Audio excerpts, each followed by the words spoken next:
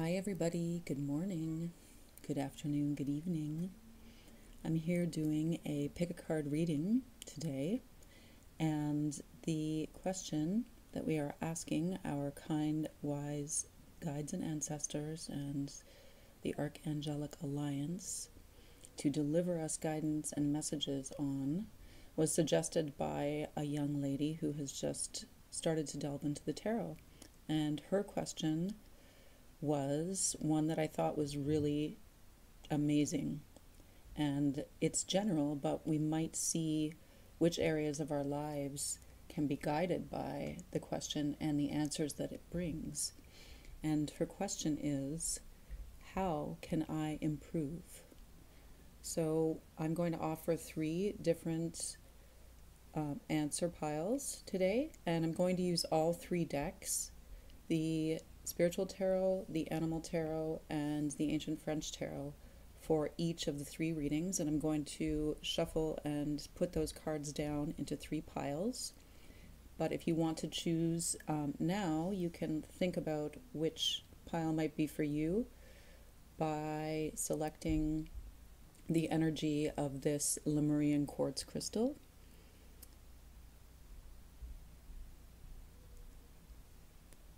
which will be for the first pile that's shuffled and dealt out. Or maybe you're in the mood for a little azurite. This is azurite, um, which is that beautiful, intense azure color there. And it's mixed with malachite, which is that beautiful swirly green so it's kind of like activating the heart chakra and the throat chakra at the same time. And it really pulls in a lot of guidance from higher vibrational dimensions. That will be for pile two. And pile three is this beautiful blue pearl. So this was gifted to me on a very magical hike in the mountains near San Jose del Pacifico. So maybe I should put the blue pearl with the mushroom. I'll put them together. That's for pile three. Whoops. Mm, blue pearl wants to roll, so we'll leave the mushroom on pile three. So I'm going to shuffle out the, the piles now. Just let's take a minute and we'll do pile one.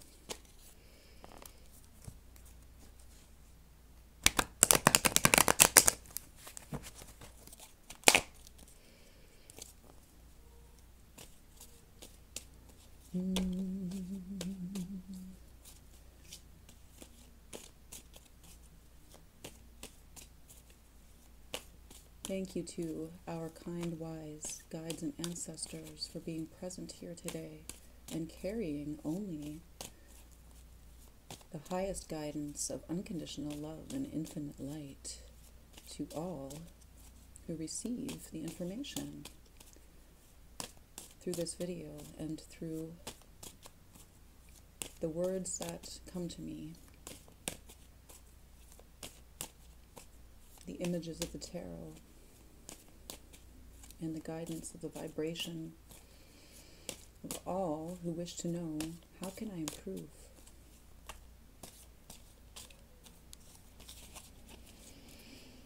How can I improve? How can I improve?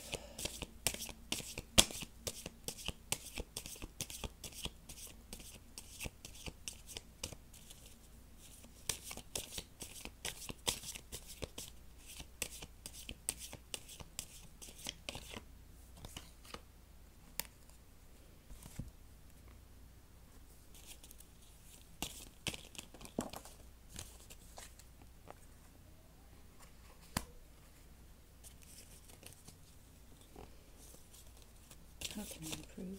Pile three.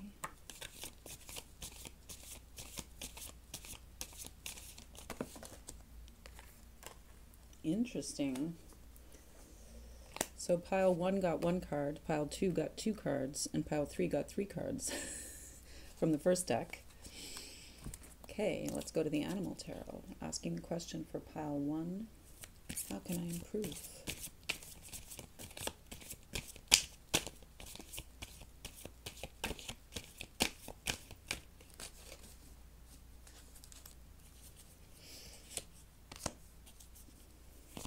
For how can I improve? Kind, wise guides and ancestors, please provide guidance from this beautiful animal tarot on how I can improve.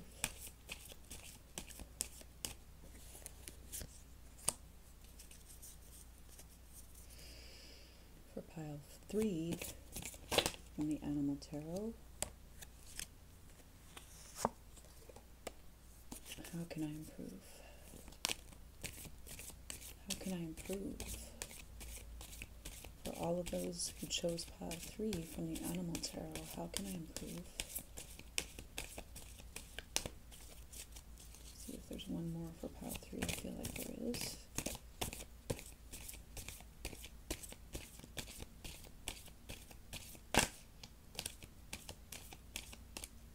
Nope. Okay, and from the ancient French tarot, this will be the card that goes on top of the piles that may indicate in what area of your life this answer refers to. So it's kind of the significator card from this lovely ancient French tarot. Kind, wise guides and ancestors.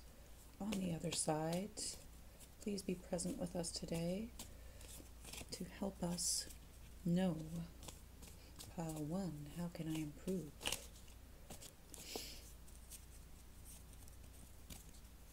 Pile one. What is the significator card for? How can I improve for pile one, please? Angels. Pile one wants to know how they can improve. What's the significator card, please? For pile one.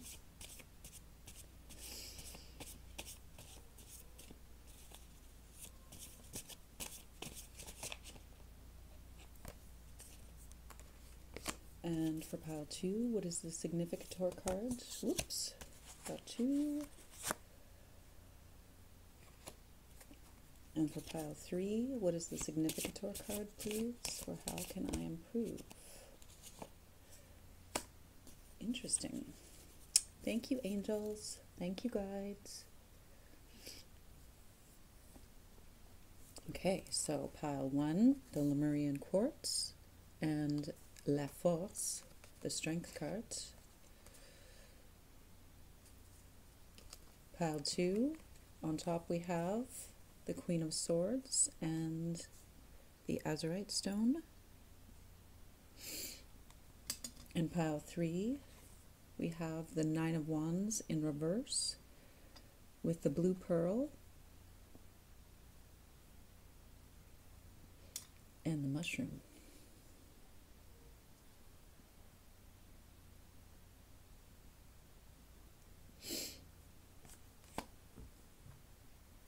Okay, so if you've made your choice, let's get started with the first pile.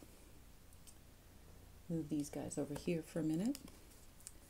So the first pile, you have strength. You have the Knight of Ancients or the Knight of Wands in reverse, which in the animal deck is the Komodo dragon in reverse. And you have the Mother of Earth or the Queen of Pentacles in reverse. Hmm.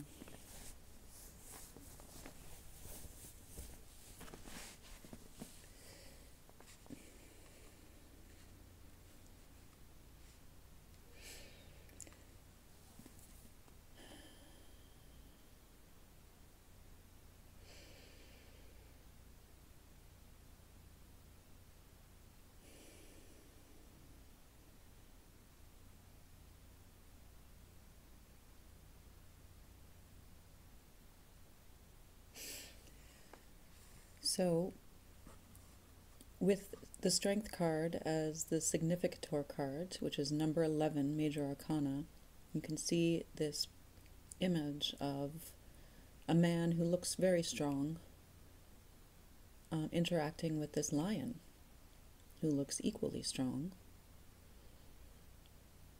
The lion has his tongue out, his eyes are red, and it looks like the man's club, which is also red, has been discarded or dropped on the ground.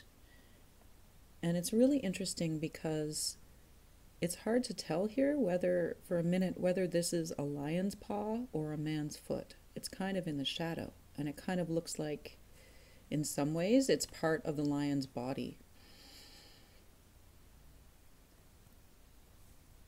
Yet the man is holding the lion's paw against his own leg, so the lion has, in some ways, become part of the man's body.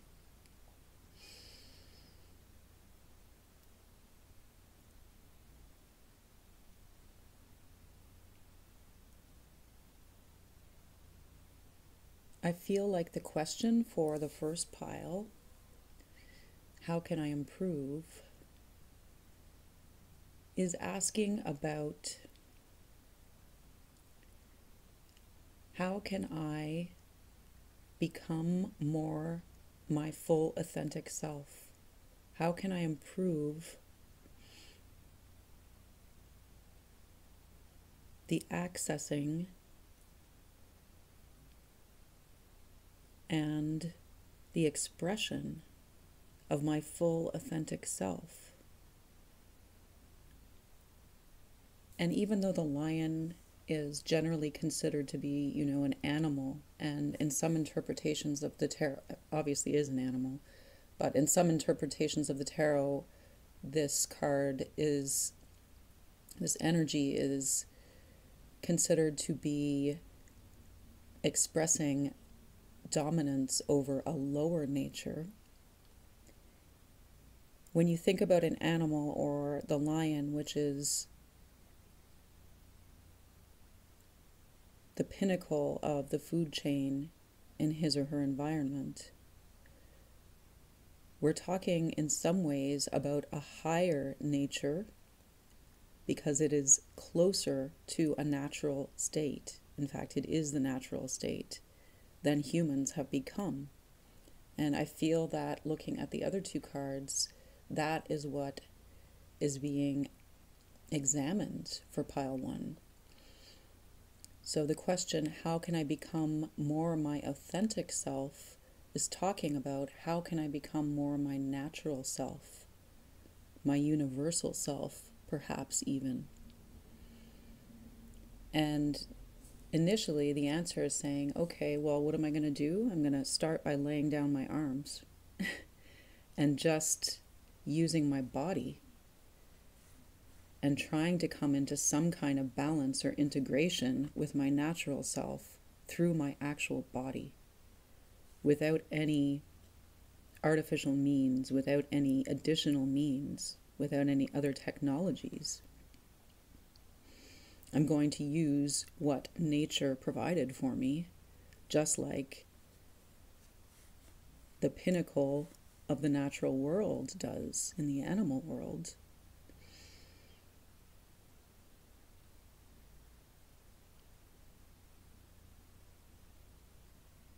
So that's the first part of the question and the answer to how can I improve for pile one. So next we have the Knight of Ancients or the Knight of Wands, which in this animal deck is the Komodo Dragon, Survival Instincts and Impulses. The Komodo Dragon is a predator as well. And you can see this picture kind of looks like a T Rex or something, a dinosaur, a predatory dinosaur. And obviously, the reptilian creatures on our planet, on our planet, do carry that DNA. The Knight of Wands is fire. Action, energy can be um, the impulses of the hormones or the impulses that are kind of a little less examined, um, sort of, as it says, survival instincts and impulses. So this could be fight or flight. It could also be sexual impulses or instincts, um, which can be used in a positive way creatively, but can also be negative in that sometimes they limit us to a very basic kind of way of living. Um, the fact that the Knight of Ancients is in reverse or healing position here is showing that maybe one way that you can improve is by examining your own reactions to situations and your own patterns, which could be kind of at a more highly ignited level than a thought pattern or even an emotional reaction, but something that's almost in your blood, something that's instinctive or in your brain, where you might become, you know, aroused in a way. It could be sexual, it could be um, energetically, such as with strong emotions or ambitions to do something. But it might not be the best choice for you all the time to go by that instinctive level and to just sort of take what is in front of you because you want it. So the Komodo dragon is cool, and I like the fact that the word dragon is in this creature's name because dragon is the legendary creature of transformation and transmutation of lower energy into higher energy. And I feel that it's it's really expressing well the fact that we can use this very basic electromagnetic energy which is in our bodies and in our brains and you know kind of hardwired into our intelligence for positive means as long as it is combined and blended with our other tools. The first one of which was the physical, so the body, the gift of the body. And the second one is that fire energy of instinct and desire and survival. So if we combine the physical with the instinctive, we're getting closer to how we can improve. That's with the healed instinctive, so that you're aware of the impulses that you're receiving from the reptilian portion of your brain, which could be fight, flight, or sex, to be polite. Um, you're aware of those impulses, but you're bringing in other energy to understand them and to make clear decisions and choices. The third card is the Queen of Pentacles, and she came out in the healing position as well. Mother Earth. This is such a beautiful image, and the energy of the Queen of Pentacles in the tarot is very powerful, very abundant, very healed, very connected with the natural bounty of being alive on this planet. So she's in reverse and she's healing too, and that's not a surprise considering the way humans have come to interact with our planetary parent over the last 100,000 years. Unfortunately. Um, our disconnection from our planetary parent, and that's both a masculine and a feminine energy, but we will call her Mother Earth or Tierra, Tierra Madre today um, our interaction with this divine entity that we are living with has become so interrupted, um, detached, maladjusted, that the damage that we do to ourselves and the the outmoded impulses that direct us in the way that we live our own lives are also affecting the vitality and integrity of our planetary parent and everyone and everything that coexists with us here. So, this is really saying, okay, how can I improve? I can improve by giving attention, time, and care to my connection with my planetary parent. Because that abundance, that natural flow of abundance, which includes the impulses, you know, of the mammalian brain and body, the reptilian brain, hopefully not body if you're trying to live as a human on the planet, but um, and everything else, this beautiful flow of the flowering of life energy, which is an equal intake and output of energy, and is also coming down from a higher source, our sun and all of the other conveyors of source energy, to bless us, to bless all of us who are participating in, you know, these these ripples, these waves of time, these cycles, these lives. So I think for pile one, connecting with the body in a natural way without technology.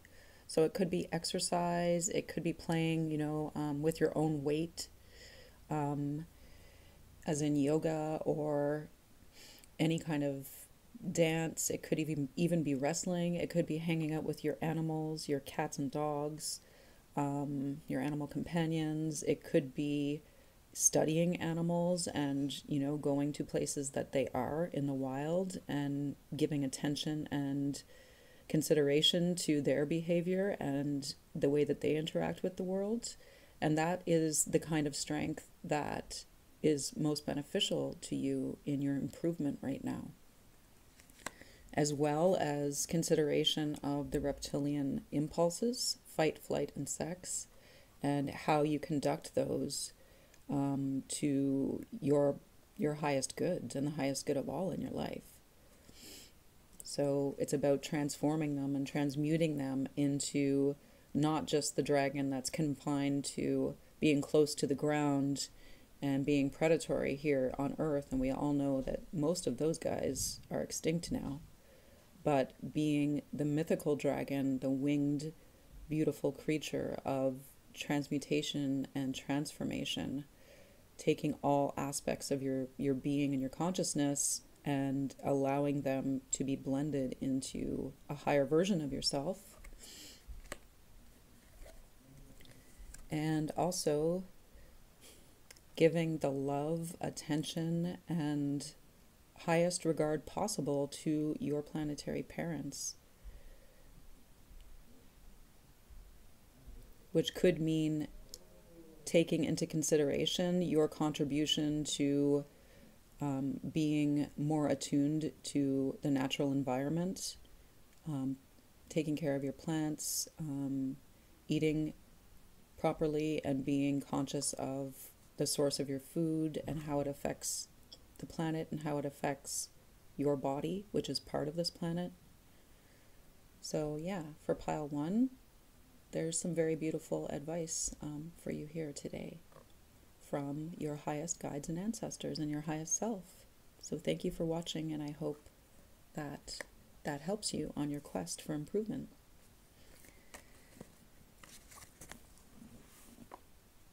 So, we're go- going to move on to the second pile, and we did get some extra cards here, so pile two's got a little bit more information, but I'll try and go through it.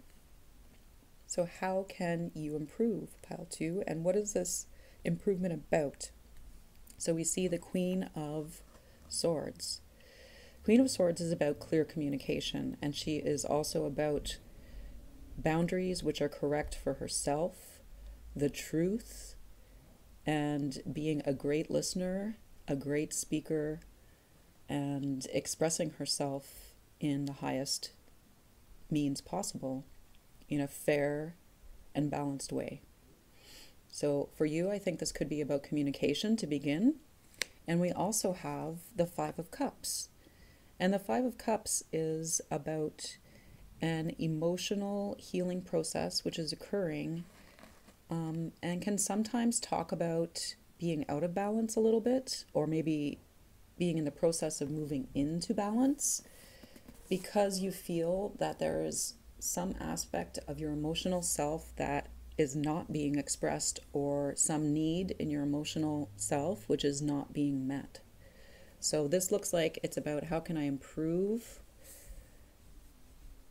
recognizing and expressing my emotional needs.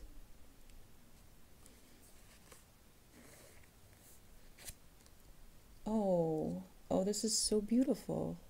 So we have the Ten of Four Leggeds or the Ten of Pentacles, and in the animal deck, it's Moose, home, birth, primal mother. So again, we have this very feminine energy, and you can see the mother moose feeding her baby. This is a Canadian animal. Um, I think it might be in other parts of the northern northern hemisphere, maybe you know in northern Europe as well. But they're abundant here, not so far from, well, they, they actually do show up where I live right now. Sometimes they come from the forest and they try to go in people's swimming pools actually in this area. And sometimes we just see them on the road, but they're very immense, beautiful, and ancient mammals. So again, we have the mammalian energy and it's showing up in the feminine this time. And the Ten of Four Leggeds or the Ten of Pentacles is this you know this primal connection with home safety and being provided everything that you need from your early life in a parental way um, and your inner child memories and your inner child care to making yourself a happy home anywhere that you are um, on the planet and feeling secure in what you can provide for yourself and for others if you're responsible for others. So, this is a very positive card. And if your question is about communicating your emotional needs and it's coming out as home, birth, and primal mother, it could have something to do with.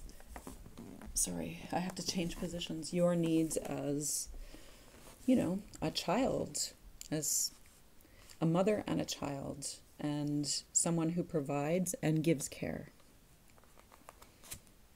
We also have the Hermit, which is a major arcana card. This is a nine. And we have the Five of Wands, so another five to go with the first Five of Cups, which is called the Struggle in this deck. I'm going to put these two fives together. So we've got two fives and a 10. So I feel that this is indicating that a cycle is coming to a close for you in the kind of inner difficulties and struggles that have reflected in your outer world in trying to meet your needs for emotional security, which maybe has blocked your your needs and your wishes and desires for the kind of home you live in and the kind of relationship you have with your inner child, which would reflect outwardly in your relationship with your parent, your parents, and also with your own children or anyone who plays those roles in your life. Um, so the two fives, they're present and they're showing that this process is well underway now. Um, that you're you are struggling or working on coming into your own as far as identifying your emotional needs and with the five of cups and with the five of fire the five of wands with identifying the voices and influences both within yourself and externally which are valuable to you in understanding and healing these situations, which are on the verge of major changes. The fact that these two five cards are here um, shows me that you're doing some very valuable inner work right now, and I'm going to offer encouragement from your guides in the form of this Ten of Pentacles or Ten of Four Leggeds saying that you are doing a good job at taking care of your inner child and you have all the resources you need. That your connection with your natural self and your connection with your inner mother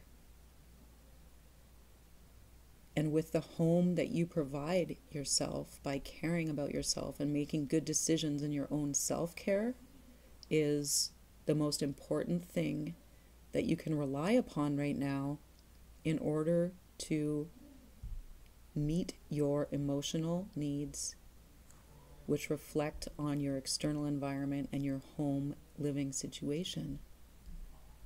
So, you, above all, are capable of providing this love and care to your inner child. You are the best mother and the most deserving child in your own life. It's a very powerful message that I am transmitting to you from your highest self through the energy of the Ten of Pentacles. There are many, many good things ahead. Your dreams are being fulfilled looking at the hermit, we can see that this process of how you can improve your living situation and the care that you receive regarding your emotional needs and the guidance that you receive from yourself and others and the way that you discern what is good for you. Before you attain the Ten of Pentacles, where you feel that you're in a satisfactory, comfortable, safe place um, that you've created in your life for home and family. It's suggesting how you can do this is withdrawing a little bit from the opinions of other people and from the values of external society, from the values of um, ideas that you may have received from a lot of other sources besides your inner parent about what's important and how you should or must live. So, taking some time out for yourself, whether you can do this for an extended period